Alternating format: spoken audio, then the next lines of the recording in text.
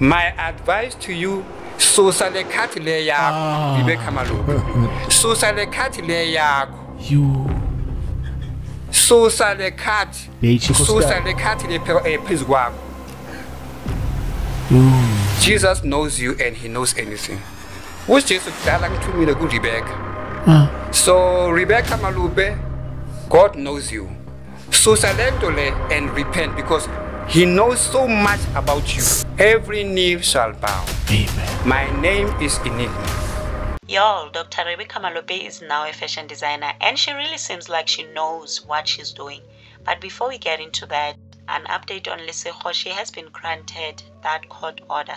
Okay.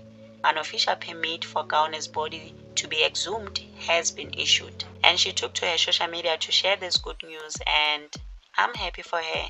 Back to Dr. Rebecca Malope. In the next five years, she will really be designing for you and I'm gonna show you her designs in a minute. She says she learned the art of design on YouTube and fashion design websites.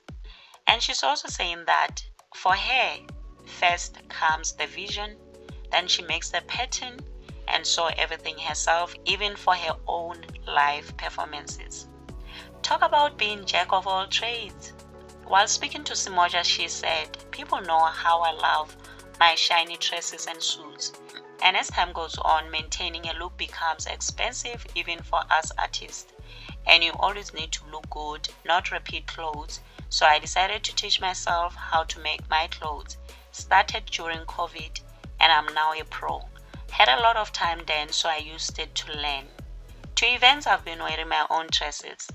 Only time will tell, but I'm enjoying it. It's therapeutic, and icing on the cake is that I get to choose how an outfit looks on me. She does everything herself, from buying fabric and everything else needed. She also wants to expand and start her own design business. From spreading the gospel to now channeling the fashionista in her, halala.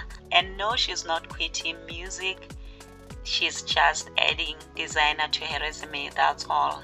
And ta-da!